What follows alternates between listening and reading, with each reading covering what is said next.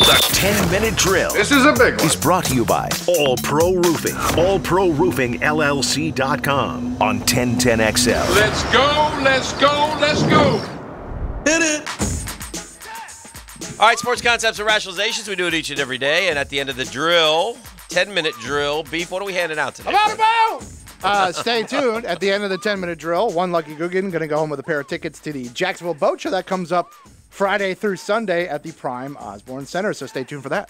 Uh, Gators played basketball last night, played, uh, played tough, tried, hung around, shot the ball well for a half, and uh, built an eight point lead.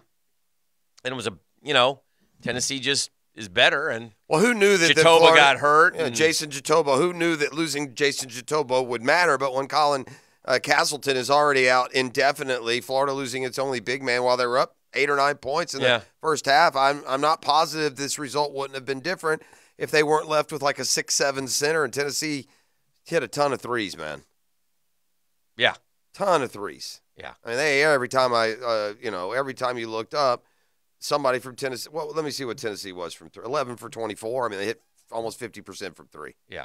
And Florida ten for thirty-three didn't shoot it. Tara, I just they're just not good enough. No. You know, without those guys, without Castleton, their best Yeah. player, they're they're they're just not good enough. And you got you got you know it is what it is at this point. So, uh, but this season is uh, spiraling downhill quickly. Well, it's there's some urgency. 12 They- and they- eight. They've got the Big 12 challenge coming up against Oklahoma This State weekend. this weekend. Yeah. Oklahoma State's not a great team. They're about Right. 500. Um, and you know and they got to go to Missouri though, and you know Missouri just played Missouri, Auburn. Missouri's a lot like Florida because if you're sitting somewhere else, you see Florida in a lot of their games Yeah. too. They, Yeah. At the end of the day, I don't think there's a lot of difference. But I would say again, they've got another three pack coming up: Missouri, Ole Miss, and Georgia. You Two better of those them. are at home. You got to win, all, win three. all three. Yeah, you do. If you win, and by the way, if you do win all three, suddenly you're 16 and eight. If you beat Oklahoma State, suddenly you're Yeah. six and five in the league. Yeah, And it wouldn't shock me if that's what Florida did. They have that kind of team. Yeah, I think they're going to hover around. You know, we you need nine and nine, eight and ten probably is. yeah. You know, I you know I don't know. They need to Because make- th- then they have this three pack: yeah Auburn. Kentucky, Texas A&M, and Oh, Auburn. yeah, yeah. they got Good Kentucky luck. twice. Kentucky to close the year. Yeah, I mean, Texas A&M, Mississippi, they're all the same. Ole Miss, Mississippi State, Texas A&M, Arkansas, uh, you know, Georgia Basically, to yeah, a degree, that- Missouri, they're all the same. yeah, yeah. So I, I don't, I don't, Uh, no. I don't think they're going to. A, Do they? they the and I don't believe. Do they? I don't think they play Tennessee again. No. Strangely, Yes. so uh, twelve and eight now, three and five. Swimming in the same pool with Florida, I think it'll be there till the end. It looked like they were headed in a complete different direction. But the Noles, that's a bad loss for FSU last night. They'd won six and six straight, you know, trying to establish themselves firmly as a tournament team because they're down there in that, you know, first four out, last four in bubble, whatever you want to call the bracketologists these Yeah. days. You know, they're down there with Florida in that same that same area. And the problem is Georgia Tech is, the, you know, they're in the basement in the ACC.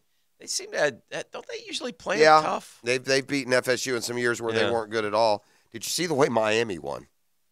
Uh, no. Oh my God! At the buzzer though, right? Like a half quarter Yeah, it was half quarter. Oh, really? yeah. from the logo. I think it, I, now I do think it was one of those minimal pressure tie game when he made the shot.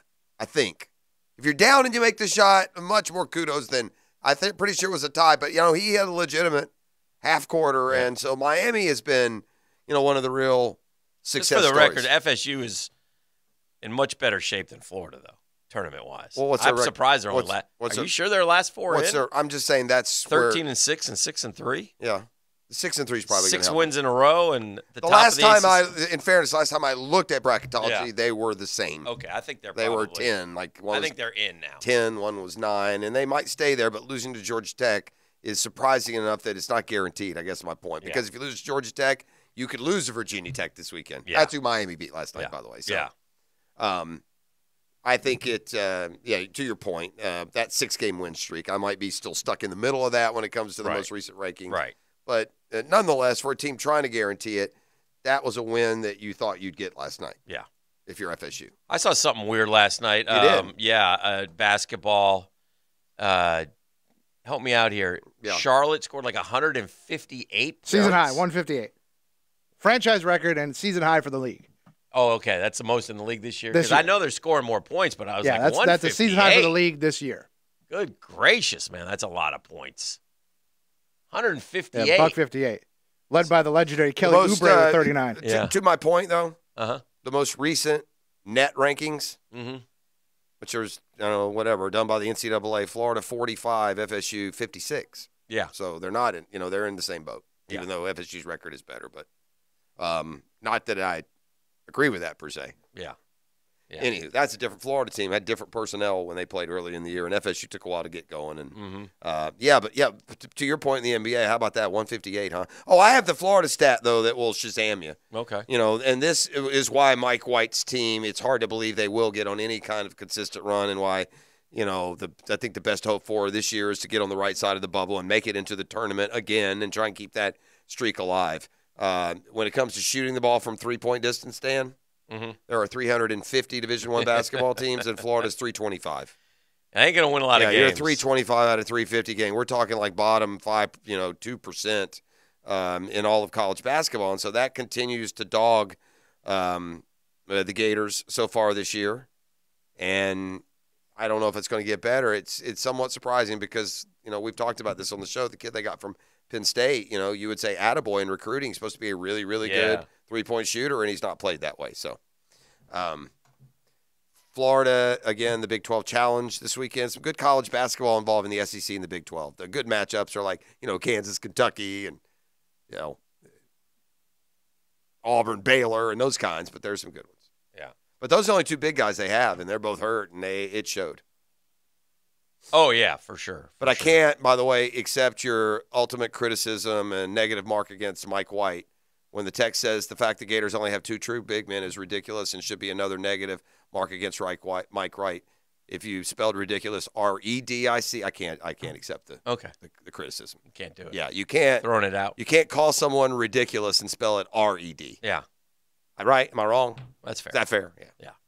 Uh, the big news this morning is Nathaniel Hackett, first time as a head coach. Broncos' uh, fourth different coach since the start of 2016, which is odd. The Broncos, the Broncos had some crazy stats, like never having a losing season back to back for a while, and that's a proud franchise that has fallen on um, fallen on hard times for sure. And Vic Fangio, uh, five straight losing seasons for Denver.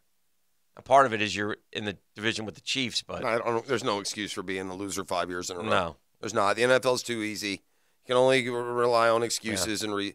He was with Denver for five seasons. Vic Fangio. Is that what you just told me? Uh, no, the team has had five straight. Oh. I think Vic got three years. Yeah, I was gonna say I didn't think he'd been there that long. I was that. Yeah, took me back just a little bit. Denver's a proud franchise, man. That's I know, that's, that's that's I'm saying. bad. You know what they're doing out there is as distasteful to them as the what we're biggest Denver here. goof, the one that should haunt Denver more than anything. Letting Tim Tebow go. No, Well, we know that. Passing on Josh Allen for Bradley Chubb. yeah, oof. That was a big. But then again, you don't know if Josh Big Allen mistake. becomes Josh Allen without Brian Daboll and the Bills. Maybe he does. You'd like to think the talent think takes will. over. Yeah, and you got. I mean, fascinating to see what John happens. Trev- Elway is Yeah, was is a yeah, is a very- 1990s very version similar. of Josh Allen. very similar. Tremendous athlete, big. Now Elway's Fasc- not near what, as big. what a what a fascinating amount of pressure on the future of the franchise in Trevor Lawrence's second year. I, I you know, twenty touchdowns, eighteen picks ain't gonna ain't gonna keep fueling the fire of optimism and ceilings. We need a. Josh Allen was expected to have to grow into being a great player. Mhm. Trevor Lawrence was expected to be a lot more ready-made than we saw in year one. So there's some serious statistical result-driven pressure on Trevor this well, year. they got to get. Yeah, then they better. I get agree. Him, they better get him some damn help. I understand. I mean, I, I- just it can't it can't be much worse than it was. Yeah. Well, You they're know. you know most I teams mean, to have average help. I, help. I, I, I swear, oh. Don't need to get that way. What's wrong? I if if the Jaguars next year are throwing to To- Isaac Smolko or Greg Estandia Well, it's interesting. or Alan Reisner Okay, or Niles Paul or Clay Harbor. you're giving me tight or- ends. No, I'm giving you Jaguars. What about- so- Zach Potter, What about Dan Arnold? Dan Arnold? You know, you don't want to keep Dan Arnold. Uh, sure, I'll keep Yeah. him. I'll keep him, but that's it. That's if it. we're throwing to those guys, Yeah. I'm I'm gonna You can I'm throw- I- put my head through you were too kind. glass window. You were too kind. I've got some bigger, more popular names that I would include on that, that list. But Julius Thomas. Now you're going, wait, I don't know what you're doing. Now I'm you're all naming Jaguar tight in ends. history.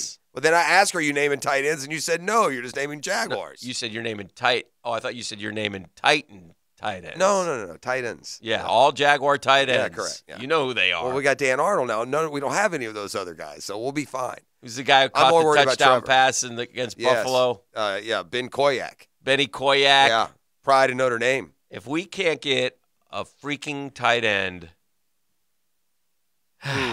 Doc Kevin just- Murphy is next. I just It's Julius Thomas search. is available, Dan. I have listen. You know what I have though? It's as fate would have it. plate a- glass window. after we do Doc and we come back in the eight o'clock hour, I uh, ESPN has just unveiled its uh, first list top fifty free agents. Let's get let's build them back then. Doggone it. Let's, have do it. some fun. Let's They give don't you listen all. to us, let's Brian. give you all all 50. Let's, Super six. let's give you all the exciting names that the Jaguars will ignore, and then bombard you with free agent number forty-four and fifty-seven.